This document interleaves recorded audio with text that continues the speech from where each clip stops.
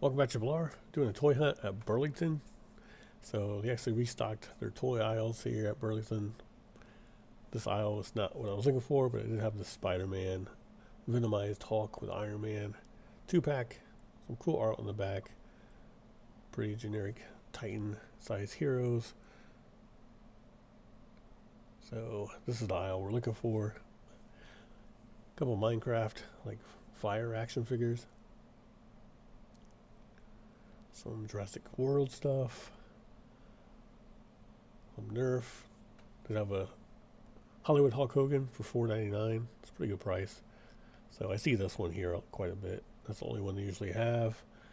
A lot of RC cars, some trucks, another Titan Heroes back there, two pack, basketball,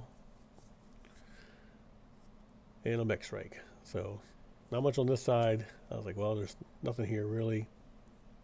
Bakugan. But when I turned to the other side, they actually had some Marvel Legends that were not Eternals. So we had Siryn here. And they're all in pretty good condition. So it was just laying here. I think they would have hung these up.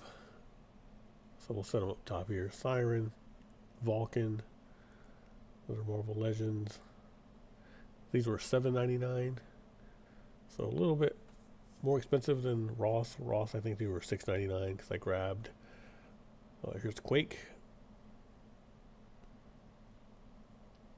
And back there you see the U.S. Agent and the Iron Man. Those I did pick up from Ross uh, a while back in December.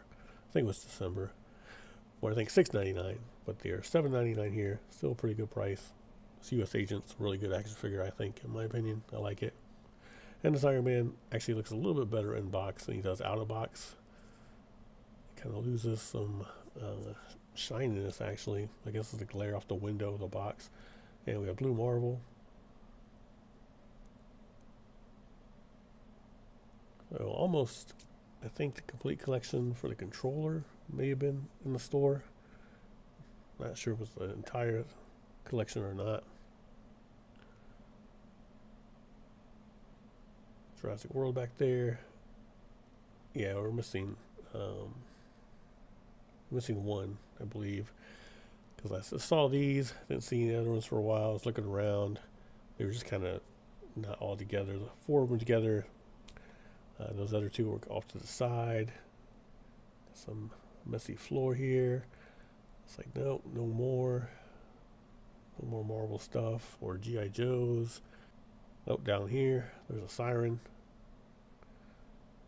And I found Doran and Speedball underneath.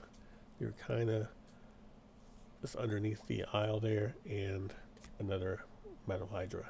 Thanks for watching Triple R. Have a good day or night, wherever you are.